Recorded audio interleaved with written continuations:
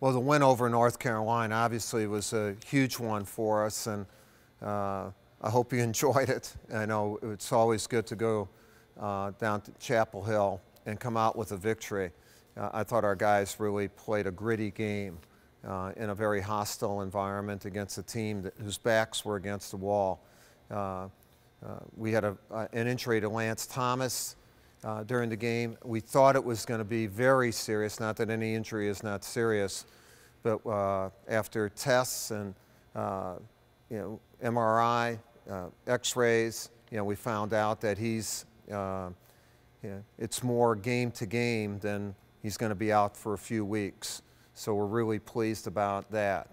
Uh, we have a huge game Saturday afternoon against Maryland. You know, we're eight and two, they're six and two. Uh, it really doesn't matter with Maryland. I mean, they're, uh, that's been a big rivalry for us also. Saturday afternoon, they're going to give away T-shirts, uh, free T-shirts. Hopefully, that's not the only reason you would come to a game, but uh, you're coming to a game so that we can, uh, so that we can beat Maryland, and uh, it's going to be a, an important game for us for standings. Me personally, it's my 1,000th game at Duke.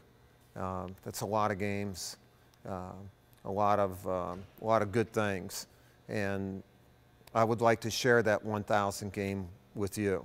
It's also my birthday, and I'm not going to tell you how old I am, but I'm uh, uh, I'm younger than I look. Let's let's let's put it that way. At this time of the year, I probably look like I'm 83, and if there's an 83-year-old out there who's mad that I said that I look like him, I, I apologize for that.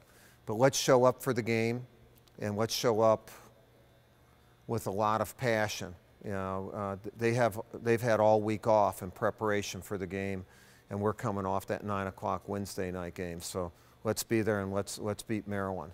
Uh, there are a couple questions. Uh, uh, from, from Eric Chamberlain. He says, uh, What was your message to the team uh, at halftime of the North Carolina game?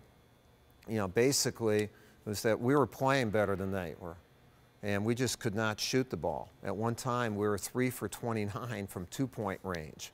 And uh, so we were doing everything well, but we're not putting the ball in the basket. I said, it'll, it'll come. Just keep playing hard and don't let the lack of offense distract you from rebounding and playing defense. And our guys did that, which was a, a key to the game. And uh, uh, it says, how do you feel about coaching your 1,000 game on Saturday? Gene K said, and happy birthday. Thank you for happy birthday. Yeah, I feel honored. Uh, I feel really honored, you know, to be at Duke for 30 years. Uh, you know, you'll feel it for the rest of your life. I came here and I knew right away that this was a place that would touch me for the rest of my life. I didn't realize that I would have the good fortune to be here for 30 years and, and coach the Blue Devils. But uh, I feel honored, and uh, I hope you'll feel honored on Saturday afternoon being a part of our team that beats Maryland.